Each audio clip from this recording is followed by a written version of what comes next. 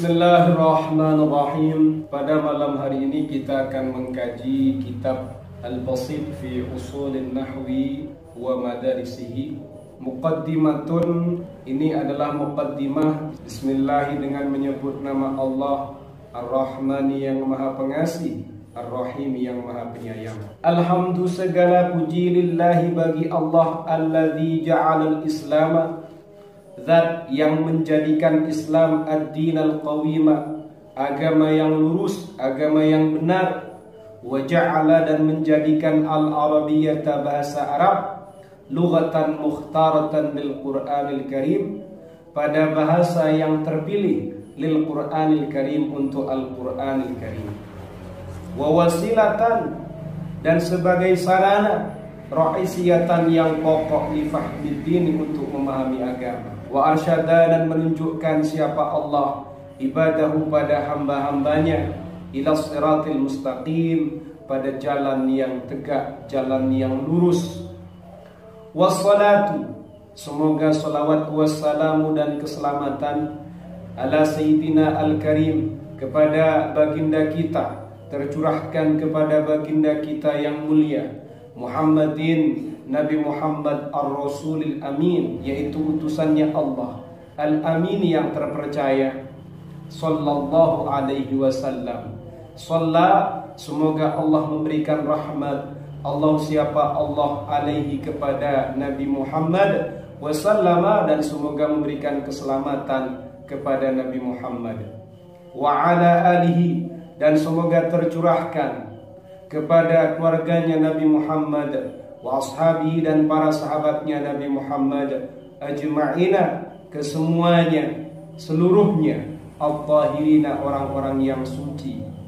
Ja'alanallahu semoga Allah taala menjadikan kita wa iyahum dan kepada mereka minas salimin termasuk golongannya orang-orang yang selamat fitarain di dunia dan di akhirat. Amin pada paragraf ini dimulai dengan bacaan basmalah, kemudian setelah itu dimulai lagi dengan bacaan hamdalah, lalu kemudian dilanjut dengan mengucapkan salawat dan salam. Pujian itu semata-mata hanya diberikan kepada Allah yang mana Allah Ta'ala menjadikan agama Islam sebagai agama yang lurus agama yang benar selain Allah taala menjadikan Islam sebagai agama yang benar. Allah taala juga menjadikan bahasa Arab sebagai bahasa yang terpilih untuk Al-Qur'an Karim. Kemudian bahasa Arab juga menjadi sarana pokok sarana penting untuk memahami agama. Karena agama ini menggunakan bahasa Arab. Kalau kita tidak paham bahasa Arab maka sejatinya kita sulit untuk betul-betul memahami agama. Kemudian selain itu Allah Ta'ala juga memberikan petunjuk kepada hamba-hambanya menuju jalan yang benar, jalan yang lurus, jalan yang mustaqim. Itu adalah makna dari hamdalah yang sudah kita baca dan kita maknai. Selanjutnya ucapkan rahmat dan salam Semoga tercurahkan kepada baginda kita yang mulia Yaitu beliau Nabi Muhammad Utusannya Allah Sosok yang terpercaya Sallallahu alaihi wasallam. Selain itu Semoga salawat dan salam tercurahkan kepada keluarganya beliau Kepada para sahabatnya beliau Semuanya Orang-orang yang suci Orang-orang yang terpilih.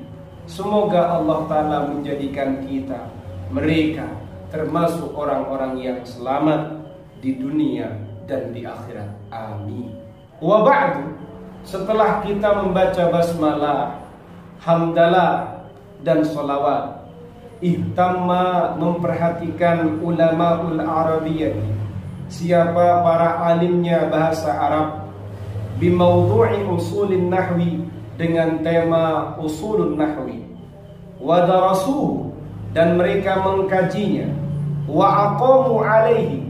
Dan mereka juga mendirikan alaihi atas nahu qawaid al-arabiyyah pada kaidah-kaidah bahasa Arab wa tanjali menjadi jelas terang ahamiyatul usuli urgensi atau pentingnya usul pentingnya beberapa pokok atau beberapa asal min khilali ta'rifatihim lahu di sela-sela ta'rifnya mereka pengenalannya mereka. Mereka siapa itu? Mereka para ulama ul Arabiyah lahu kepada nahwu mengenalkan ilmu nahwu setelah kita membaca basmalah, hamdalah dan sholawat, di sini ada informasi bahwasannya para alimnya, para ulama bahasa ulama ul Arabiyyati adalah ulama bahasa Arab pun perhatikan terkait dengan tema usulun nahwi, asal-asalnya nahwu. Mereka selain memperhatikan, mereka juga mengkajinya.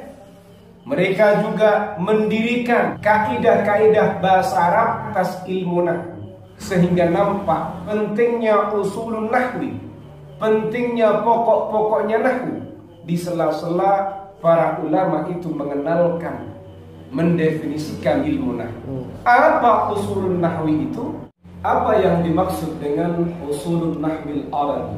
Wa usulun nahwil arabi adapun usul nahwu Arab fil itlaqil ami dalam pengucapan yang umum yuqsadu dimaksud biha dengan usulun nahwil arabi al ususu apa beberapa dasar-dasar allati bunya yang dibangun alaiha di atas dasar itu hadan nahwu apa nahwu ini fi masaili dalam beberapa permasalahannya watatbiqatihi dan beberapa pengaplikasiannya. Sunnahu Arab itu dalam pengucapan yang umum yang dimaksud dengan usulun nahwi adalah dasar-dasar yang mana ilmu nahwu dalam urusan permasalahannya, penerapannya, pengaplikasiannya dibangun di atas dasar tersebut.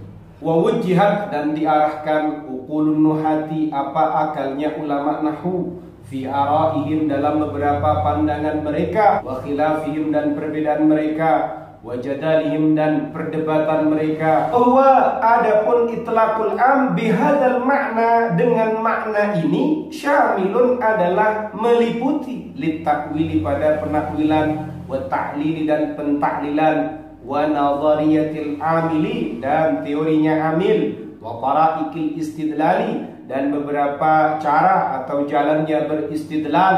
Wa masadiril istinbati dan sumber-sumber penggalian hukum. Wa ghairi dzalika dan lain-lain. Mimma berupa sesuatu yang kau yang terjadi fi tariqil pada cara sampai jalan sampai ilal ahkami menuju beberapa hukum an-nahwiyati yang bersifat kenahwan ilal ahkamin nahwiyati sampai pada hukum-hukum nahwu tajridil qawaidi dan melepaskan beberapa kaidah al-kulliyati yang bersifat kulliyah wal juz'iyati dan bersifat juz'iyah. Kulliyah itu secara keseluruhan juz'iyah itu secara parsial atau secara seba sebagian usul nahwu Arab dasar-dasar nahwu Arab kalau kita mengucapkannya dengan pengucapan yang masih yang dimaksud dengan usul nahwu adalah dasar-dasar di mana ilmu nahwu,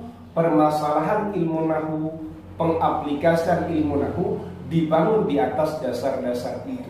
Kemudian akalnya ulama nahwu itu diarahkan terkait dengan pandangan mereka, terkait dengan perbedaan mereka, perdebatan mereka. Itlaqul am, pengucapan yang umum bihadal makna dengan maksud ini itu justru meliputi pada pentaklilan, pentaklilan, teorinya Amil, caranya berargumen, sumber-sumber menggali hukum, dan juga hal-hal yang lain yang mana hal itu terjadi dalam caranya sampai pada beberapa hukum nahwu dan melepaskan beberapa kaidah yang masih kuliah wal juz'iyah dan juz'iyah melepaskan mengurai kaidah-kaidah yang masih sifatnya kuliah menyeluruh wal juz'iyah dan bersifat parsial.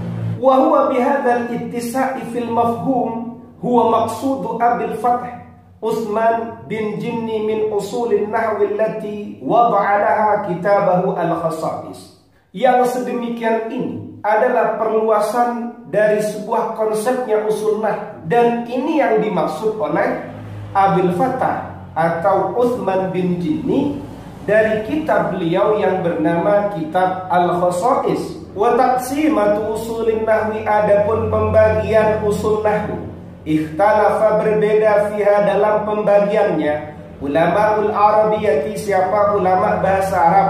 Fahia adapun pembagiannya usul nahwi inda ibni jinni menurut ibnu jinni Salasatun adalah tiga Wahya sedangkan adapun yang tiga As-sama'u adalah dalil sama'i Wal ijma'u dan dalil ijma' Wal qiyasu dan dalil qiyas. Wa inda ibnil ambari dan menurut ibnul ambari Salasatun adalah tiga Aidon juga Sammaha yang menjulukinya An-nakla pada dalil nakal Wal qiyasa dan dalil qiyas Wastishabal hali dan istishabul hal kalau terkait dengan pembagian usul nahwil arabi itu ternyata ulama ul arabiyah mereka berbeda pendapat. Kalau menurut Ibnu Jinni ada tiga, menurut Ibnu Ambari juga ada tiga. Cuma di situ ada perbedaan. Kalau menurut Ibnu Jinni yang dimaksud dengan usul nahwil arabi adalah dalil sama'i, kemudian dalil ijma', kemudian dalil qiyas. Tapi kalau menurut Ibnul Ambari adalah dalilnya itu namanya dalil nakli. Dalil nakli sama dengan dalil samai. Kemudian yang kedua, beliau juga menggunakan kias, tapi beliau tidak menyebutkan ijma. Justru beliau menyebutkan istishabal hal. Amma Suyuti sedangkan Imam Jalaluddin Asyuti Fayaraha beliau berpandangan pada usulun nahwi arba'ata adillatin pada empat dalil Ja'at yang datang min majmu'i qaul ibni jinni dari kumpulannya pendapatnya Ibnu Jinni wabnil Ambari dan Ibnul Ambari wahia arba'atu adillah itu apa? Wahia sedangkan adapun arba'atu adillah. As-sama'u adalah dalil samai wal qiyas dan dalil qiyas wal ijma'u dan dalil ijma' wastishabul hali dan dalil istishabul hal. Kalau pandangannya Imam As-Suyuti yang dimaksud dengan usul nahwi itu dibagi menjadi empat. Apa saja? Yang pertama adalah dalil sama'i dalil qiyas dalil ijma' dan istishabul hal apa masing-masing ini masing-masing ini nanti akan diurai Wa faidatuhu adapun faidahnya ilmu ini. Ilmu apa? Ya ilmu usul nahwi. At-ta'wilu adalah penyandaran fi isbatil hukmi dalam menetapkan hukum alal hujjati atas hujjah wa ta'lili dan pemberian alasan atau pentaklilan wal irtifa'i dan melepas an hadidit taqlidi dari anjurannya taklid ila biqa'il ittila menuju ruangnya mengkaji ala dalil atas dalil fa innal mukhallida karena orang yang mengabadikan diri ila taqlidi pada taklid la ya'rifu wajhal khata'i. Dia tidak mengenali sisi kesalahan minas sawabi dari kebenaran. Wala yanfaqu dan ia tidak lepas fi aktsaril amri dalam banyak kasus min awaridi syakki wal irtiyabi dari terjadinya keraguan dan kebimbangan. Pertanyaannya sekarang, apa sih fungsinya kita mengkaji usul nahwi ini? Agar kita ini punya sandaran. Punya sandaran dalam hal apa? Dalam menetapkan hukum di atas hujah. Ada argumennya kamu mengatakan ini rafa, ini nasab, ini jar, ini jazam. Kemudian juga dalam pemberian taklilat atau pemberian alasan melepaskan diri dari anjuran untuk taklid hanya menerima apa yang sudah ada menuju wilayah pengkajian secara mendalam pada dalil itu sendiri.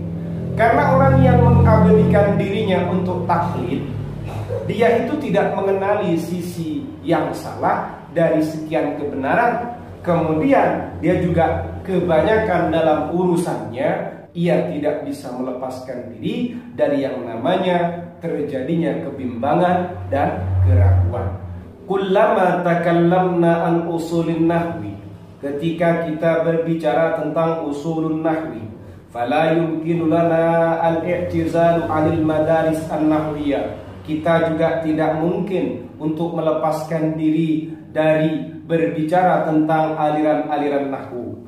Li'annaha karena al-madaris an-nahwiyah juz'un la yatajazza itu adalah bagian yang tidak bisa dipisah.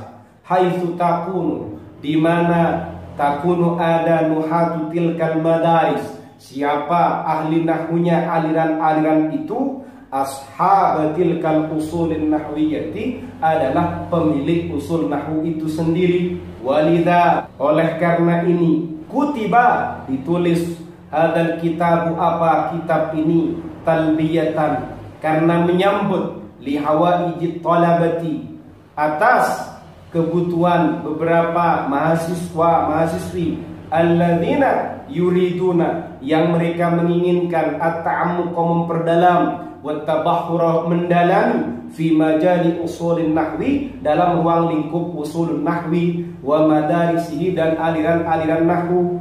Summiya hadzal kitab kitab ini diberi nama bi al-basit fi usulin nahwi wa madarisihi dengan nama kitab Al-Basit fi Usulin Nahwi wa Madarisihi. Lianna hajmahu karena cakupan kitab ini lam yazal qalilan masih sedikit wa basiton dan sederhana rahma annal katiba meskipun penyusunnya penulisnya qad badal juhda ia sudah mengerahkan kesungguh-sungguhannya, mengerahkan tenaganya litahqiqi untuk mentahqiq, mewujudkan wa ikhraji hadzal kitabi dan mengeluarkan menerbitkan kitab ini. Afada semoga memberikan faidah Allah siapa Allah bi dengan Alkitab Al-Qurra'a kepada para pembaca Al-Qurama'a yang mulia ifadatan tamatan dengan memberikan manfaat tamatan yang sempurna amin semoga Allah taala mengijabahi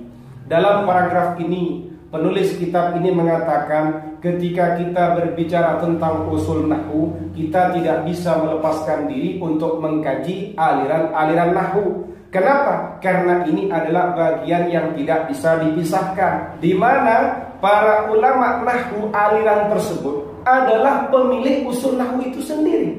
Oleh karena ini, kitab ini ditulis oleh penulisnya karena menyambut kebutuhan para pelajar, kebutuhan para mahasiswa, mahasiswi yang mereka ingin mendalami, memperdalam dalam ruang lingkup usul nahwil arabi dan juga aliran-alirannya. Kitab ini diberi nama Al-Basit fi Usulin Nahwi wa Madarisihi.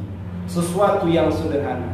Kitab yang sederhana membahas tentang usulun nahwi al-arabi dan aliran-alirannya. Kenapa kok dinamai al-basit? Karena memang cakupan pada kitab ini masih sedikit, masih sederhana, meskipun penulisnya sudah berusaha semaksimal mungkin untuk mewujudkan mengeluarkan, menerbitkan kitab ini. Semoga Allah Ta'ala memberikan manfaat kepada para pembacanya yang mulia dengan manfaat yang sempurna. Amin. Wahadal kitabu adapun kitab ini basitun jiddan adalah sangat sederhana binisbati ila haqiqati hadzal ilmi jika dinisbatkan pada kenyataannya ilmu ini ilmu usulun nahwi ala wa usulun nahwi wa madarisuhu Ilmu itu adalah ilmu usulin nahwi dan madarisnya, aliran-alirannya. Idza jazat ta'biru, jika boleh at-ta'biru mengekspresikan annahu mabadi'u fihi. Ini adalah prinsip-prinsip dasar dalam kilman itu. Wa yasiru masiral muqarraratid dirasiyah. Kemudian kitab ini berjalan seiring dengan jalannya standar perkuliahan di Kismil Lughatil Arabiyyati di jurusan bahasa Arab. Ada yang kurang ya? Wa adabiha. Fi Kismil Lughatil Arabiyyati wa adabiha di jurusan bahasa dan sastra Arab. Bi Jami'ati Maulana Malik Ibrahim Al-Islamiyah Hukumiyah Malang di Universitas Islam Negeri Maulana Malik Ibrahim Malang. Walai tahaqqaqa tidak menjadi tahqiq tidak muncul, tidak berwujud kitab ini illa bi taufiqillahi azza wa jalla kecuali dengan petunjuknya Allah azza wa jalla wa fadlihi dan anugerahnya wa aunihi dan pertolongannya. Adawatan ala dalika selain itu annal katiba bahwasannya penulis ini akhadha kathiran minal adillati. Banyak mengambil beberapa dalil wal bayanati dan beberapa keterangan wal ma'lumati dan beberapa informasi al ilmiyati informasi ilmiah haula hadzal mawdu'i seputar tema ini min ba'dil buhuth dari sebagian beberapa penelitian wal kutubi dan beberapa kitab al mutanawwi'at yang bermacam-macam. Wa minha di antaranya al madaris an nahwiyah kitab al madaris an nahwiyah li Syauqi Dhaif karyanya Syauqi Dhaif. Wali Khadijah al Hudaythi dan karyanya Khadijah al Hudaythi wal bahthi dan penelitian li ba'dil bahithina milik sebagian para peneliti. Al usulin nahwi tentang usul nahwu wa ma yata'allaqu bihi dan suatu yang berhubungan dengannya. Wa minha di antaranya at-tarjihun nahwi inda radi fi syarhihi al-kafiyah. At-tarjihun nahwi pentarjihan nahwu inda radi menurut ar-radi fi syarhihi dalam sarahnya ar-radi lil kafiyati pada kitab al-kafiyah. Wal bahthi dan penelitian ang kutubil madarisin nahwiyati dari atau tentang kitab-kitab aliran-aliran nahwu dirasatan wa tahlilan secara penelitian wa tahlilan dan analisis li Hannan Qadir Amin Al-Bajilan miliknya Hannan Qadir Amin Al-Bajilan wal bahthi dan penelitian an Khadijah Al-Hudaythi tentang Khadijah Al-Hudaythi wa ma yata'allaqu bi shakhsiyatiha dan sesuatu yang berhubungan dengan kepribadian Khadijah Al-Hudaythi wa ghairiha dan yang lain min syattail kutub dari berbagai kitab wal buhuthi dan beberapa penelitian al-ukhra yang lain allati yang la yasmahul majala yang tidak memperkenankan allati la yasmahu yang tidak memperkenankan al majala pada ruang lingkup li dzikriha kulliha untuk menyebut semuanya. Walau dzaka andai saja bukan karena itu semua fala qimata li hadzal kitab. Sebenarnya kitab ini tidak bernilai. Haitsu kana di mana kanat ada tilkal kutubu apa kitab-kitab itu? Wal buhutsu dan penelitian-penelitian itu yang asas adalah dasar alladzi minhu al-katibu yang mana penulis mendapatkan al-maddatan ilmiyata bahan-bahan ilmiah ini fi kitabati wa tahqiqi dalam menulis dan mewujudkan al-basit fi usulin nahwi wa madarisihi. Kitab al-basit fi usulin nahwi wa madarisihi jadi kitab ini katanya penyusun kitab Al-Basit fi Usulin Nahwi wa Madarisihi adalah sangat sederhana jika engkau nisbatkan pada hakikat ilmu usulin nahwi dan aliran-aliran nahwu. Kalau boleh diungkapkan, di sini hanya prinsip-prinsip dasar yang berjalan seiring dengan standar perkuliahan di jurusan Bahasa dan Sastra Arab di Universitas Islam Negeri Maulana Malik Ibrahim Malang. Kitab ini tidak akan muncul kecuali dengan taufiknya Allah, kecuali dengan anugerahnya Allah dan pertolongannya. Selain itu, bahwasannya penulis kitab ini mengambil banyak data, beberapa dalil, penjelasan, informasi ilmiah seputar tema ini dari sekian referensi dari sekian penelitian berbagai kitab yang beragam di antaranya adalah kitab Al-Madaris An-Nahwiyah karyanya Syauqi Dhaif dan juga kitab karyanya Khadijah Al-Hudaythi. Ada juga penelitian sebagian peneliti terkait dengan usul nahwu dan yang terkait di antaranya adalah At-Tarjih An-Nahwi Indar Radi fi Syarhihi lil Kafiyah. Kemudian ada lagi juga penelitian terkait dengan kitab-kitab Al-Madaris An-Nahwiyah. Dirasatan wa tahlilan karyanya Hanan Qadir Amin Al-Bajilan. Juga penelitian tentang Khadijah Al-Hudaythi dan juga hal yang berhubungan dengan kepribadian Khadijah Al-Hudaythi dan juga kitab-kitab lain dan penelitian yang lain yang tidak memungkinkan untuk menjelaskan semuanya. Andai saja tidak ada referensi itu maka sejatinya kitab ini tidak bernilai. Di mana kitab-kitab itu, penelitian-penelitian itu adalah dasar utama yang mana penulis kitab ini mengambil rujukannya, mengambil informasinya, mengambil datanya dan dalilnya secara ilmiah dari kitab dan penelitian tersebut untuk menulis, menyusun dan mewujudkan kitab Al-Basit fi Usulin Nahwi wa Madarisi.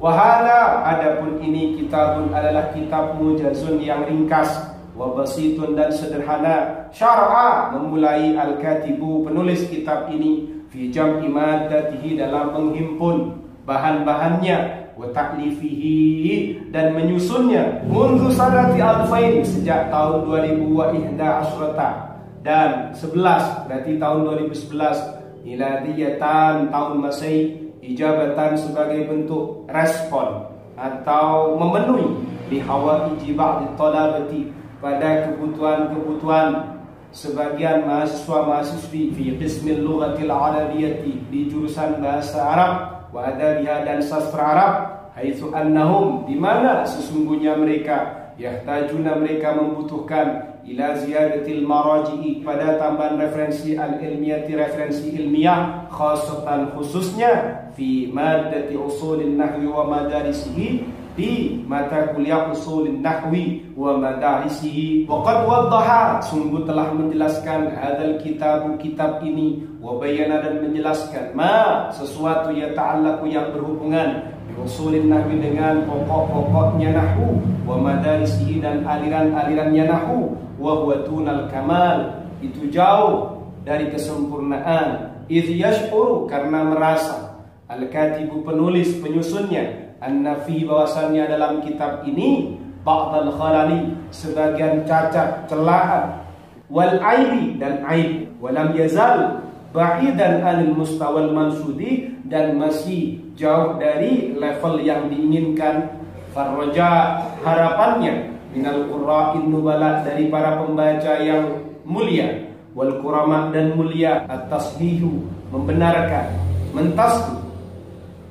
Awin naqdul banna'u atau kritik yang membangun Idh wajadu ketika mereka menemukan Al-akhta'a pada beberapa kesalahan Wal aghlaq dan kelumputan Fi hadal kitab dalam kitab ini Usluban wa maddatan Baik secara retorika Wa maddatan dan bahan Wa akhiru da'wana Sedangkan penutup doa kami Alhamdulillahi Rabbil Alamin Segala puji hanya milik Allah Tuhan alam semesta. Al-Katibu Tamimullahi Al-Majistir.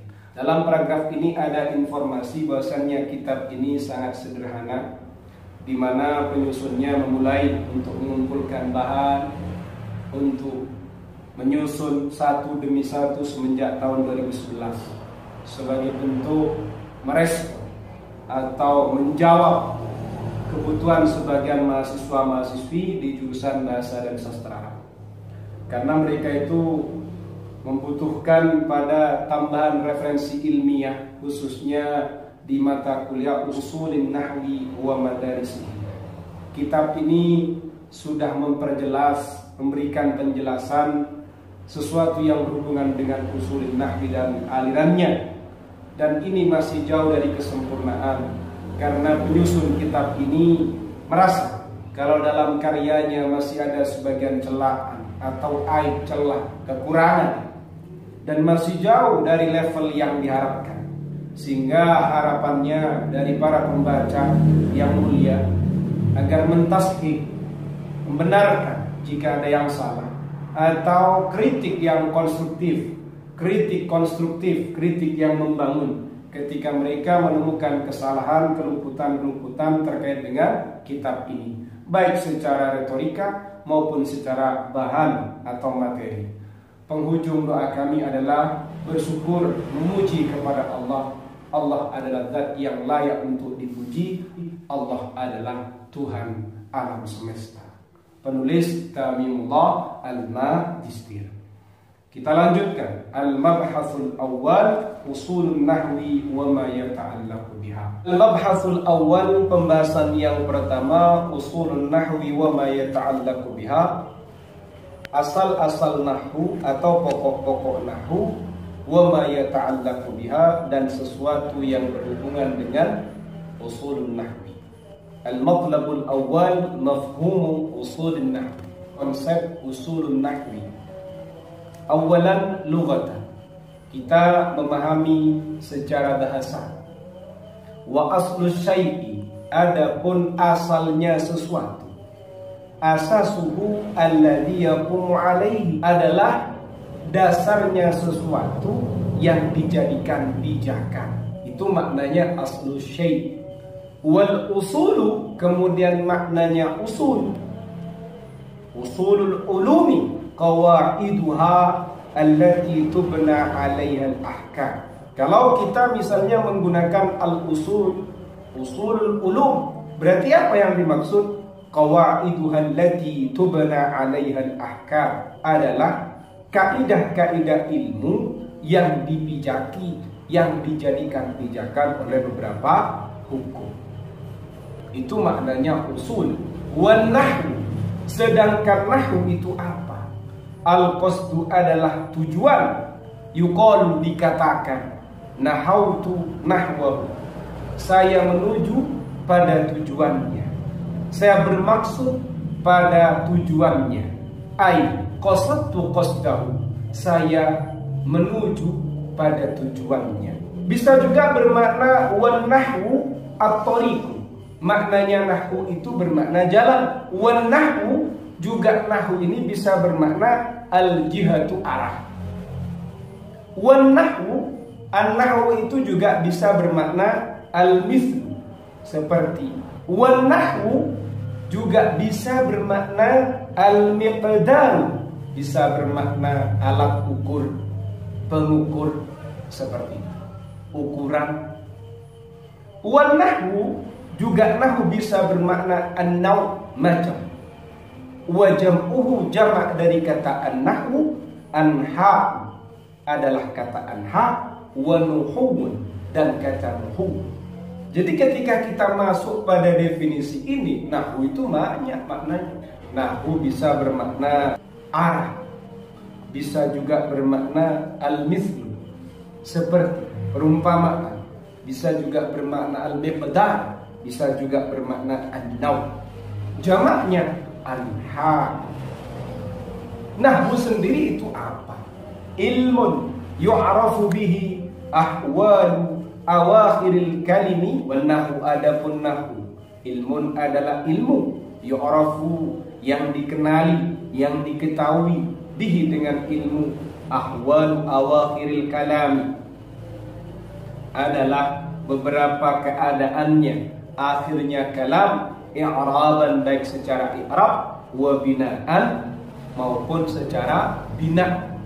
Kalau nahwu sendiri adalah ilmu yang dengan ilmu itu kita akan tahu beberapa ahwalnya atau kondisinya akhir kalam, akhirnya pembicaraan baik secara i'rab maupun secara bina. Itu kita masih mengkaji aslu syai' kemudian maknanya an-nah.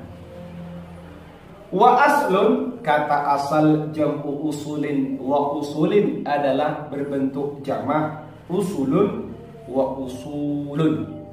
Jadi jamak dari kata aslun bisa menggunakan usulun bisa menggunakan usulun.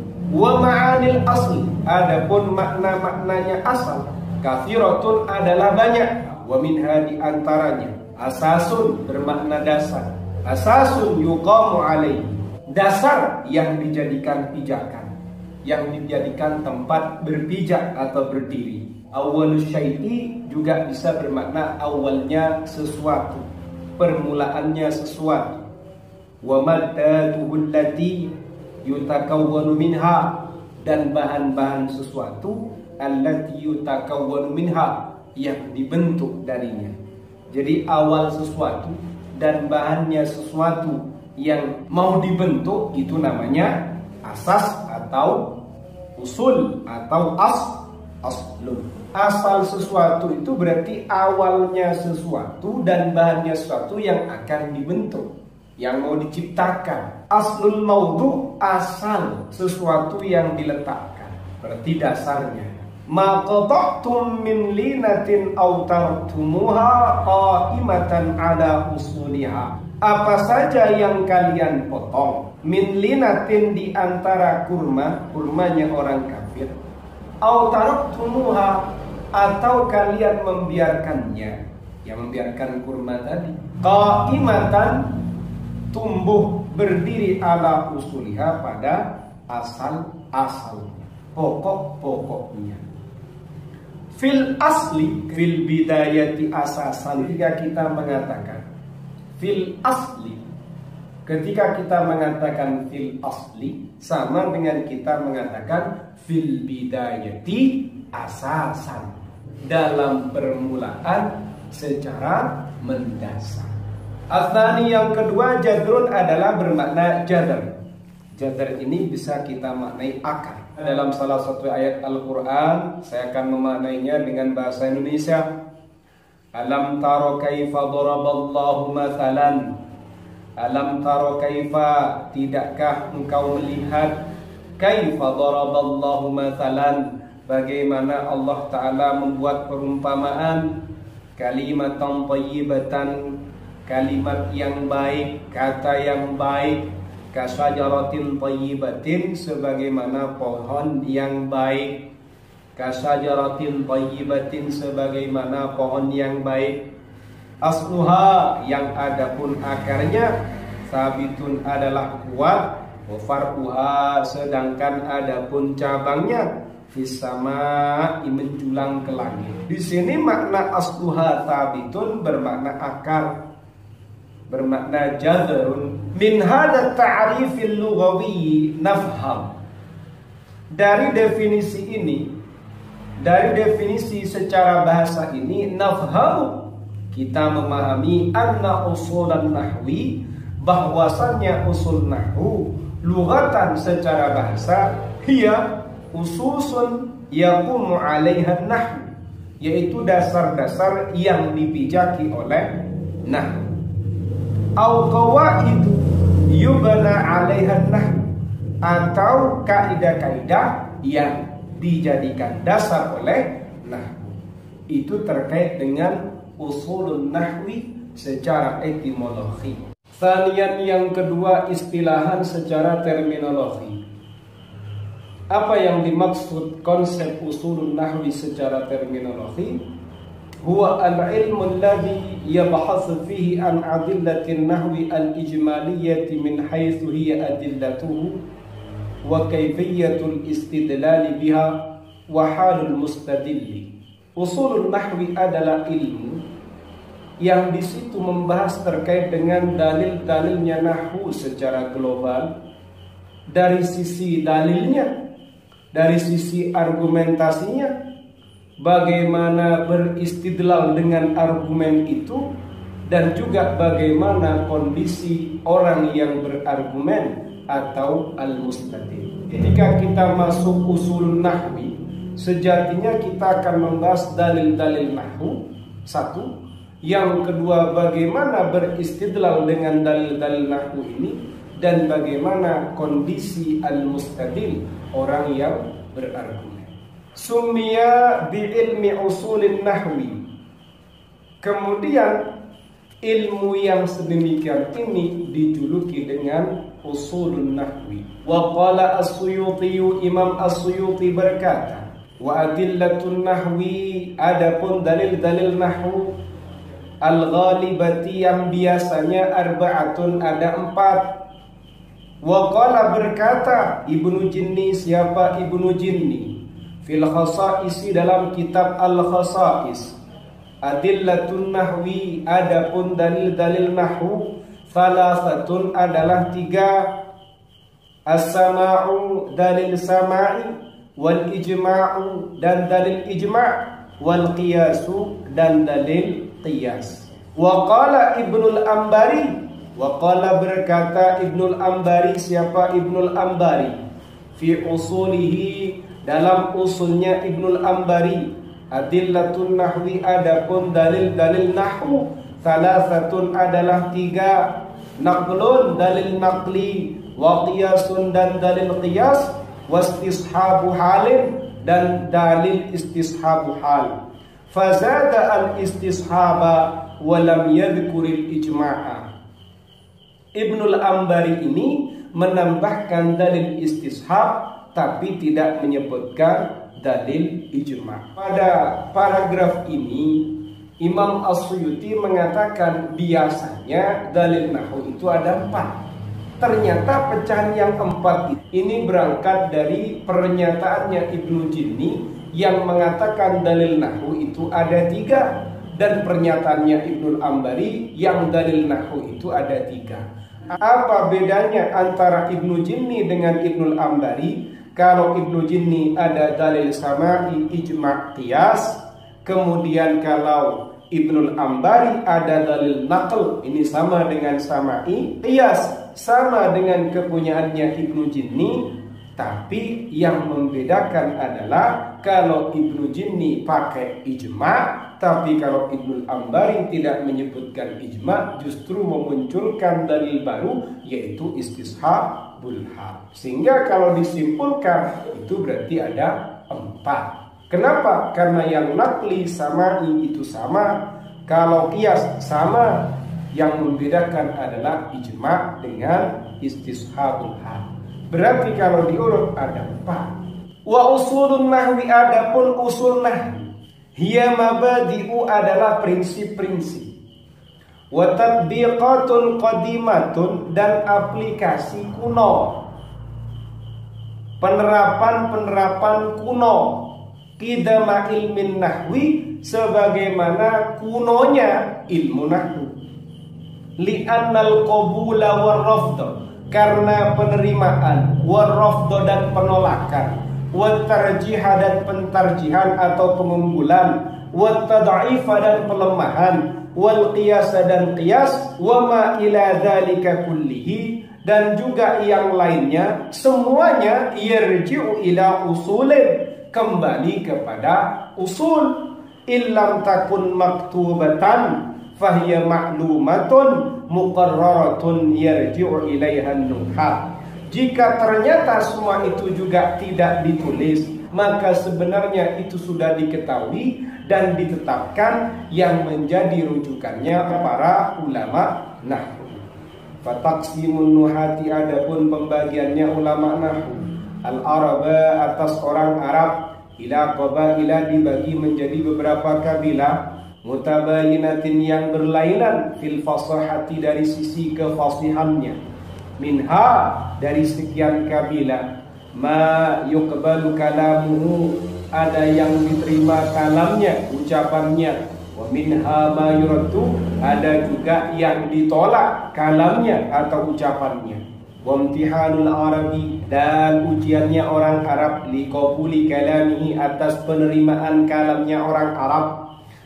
Dihi atau penolakannya orang Arab wal qiyas dan qiyas wa miqdarun nususi dan derajatnya beberapa nas atau redaksi allati yaqulul qiyasu 'alaiha yang dianggap oleh qiyas wa tad'ifun nususi dan pelemahan pentad'ifan beberapa nas beberapa redaksi wa tasdiduha dan penyimpangannya kullu dzalika min samimi ilmi usulin nahwi semuanya itu termasuk intisarinya ilmu usulin nahwi para ulama nahwu itu membagi orang Arab ini dibagi pada beberapa kabilah-kabilah yang beragam, yang berlainan.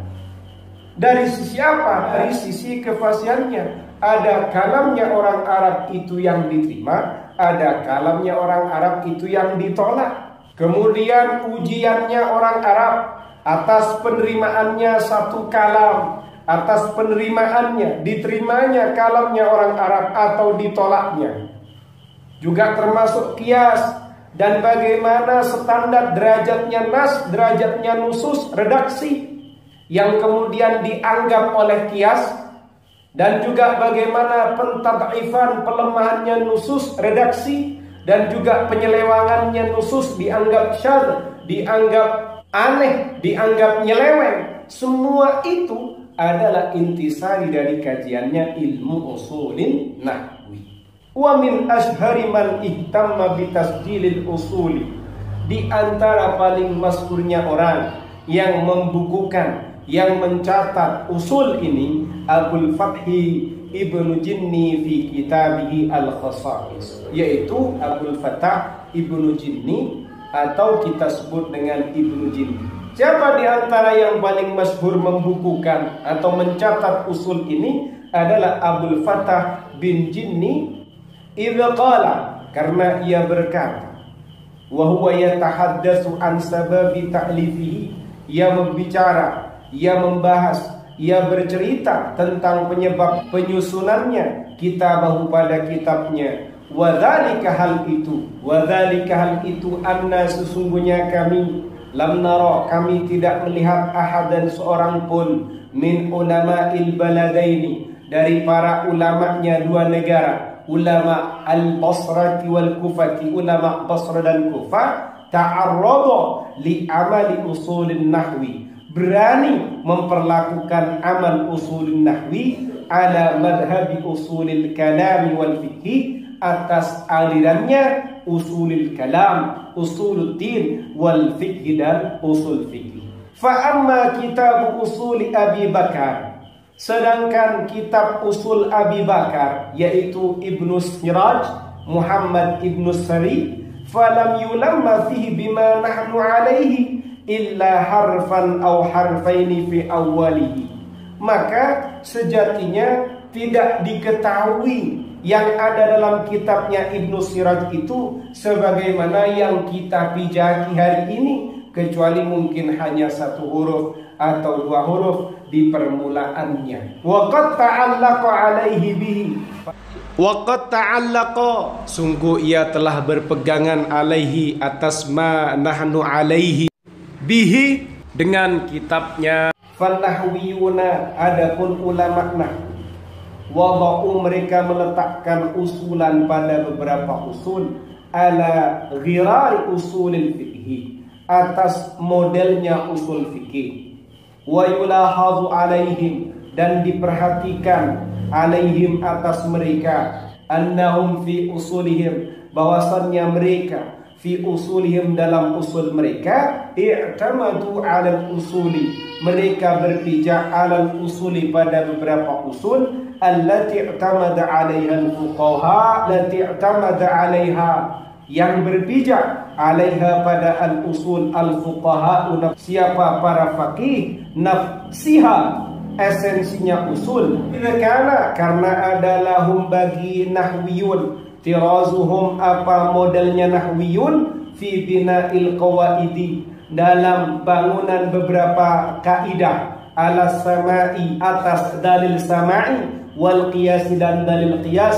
Wal ijma' dan dalil ijma' kama banal fuqaha'u kama bana sebagaimana membangun al fuqaha'u siapa para faqih istimbat al ahkami atas penggalian beberapa hukum ala samai atas dalil samai wal qiyas dan dalil qiyas wal ijma' dan dalil ijma' wa dzalika hal itu atharun wadihun adalah efek pengaruh yang jelas min atharil ulumid diniyati dari pengaruh ilmu-ilmu agama di ulumil lugati dalam keilmuan-keilmuan bahasa. Di antara paling masyhurnya orang yang membukukan usul usulun nahwi ini adalah Abdul Fattah bin Jinni dalam karyanya yang dikenal dengan Al-Khasa'is. Karena beliau itu berkata ketika beliau bercerita terkait dengan penyebab kenapa beliau mengarang kitab itu. Beliau mengatakan hal itu karena sesungguhnya kami tidak menemukan tidak melihat seorang pun dari ulama Basra dan Kufah atau ulama ul baladain. Mereka memperlakukan melakukan amalnya usulun nahwi atas madhab usulul kalam wal fikhi padahal kalau dalam fikih itu ada usulul fikhi ada usulul kalam. Kalau kitabnya Abu Bakar yaitu Ibnu Siraj Muhammad bin Sari sebenarnya dalam kitab itu tidak ditemukan sebagaimana yang kami pijaki ini kecuali hanya satu huruf atau dua huruf di permulaan karyanya beliau dan itu pun sudah ta'allaqu alaihi bihi sudah berpegang teguh atas apa yang kita pegang dengan kitab itu. Artinya sudah dijadikan pijakan. Komentarnya sampai di situ ulama nahu itu meletakkan usul nahu itu modelnya sebagaimana model usul fikih. Kalau diperhatikan pada apa yang dilakukan oleh an-nahwiyun, mereka itu dalam usul mereka berpijak pada usul yang dipijaki oleh para fakih. Karena ternyata an-nahwiyun, ulama nahwu itu memiliki model dalam bangunan kaidah itu berdasarkan pada dalil sama, kias dan ijma sebagaimana yang dibangun oleh para faqih dalam menggali hukum. Mereka juga berpijak pada dalil sama'i qiyas ijma. Nah ini jelas. Ada asar wadihun ada pengaruh yang konkret dari sekian pengaruh ilmu-ilmu agama fi ulumin lughati dalam keilmuan-keilmuan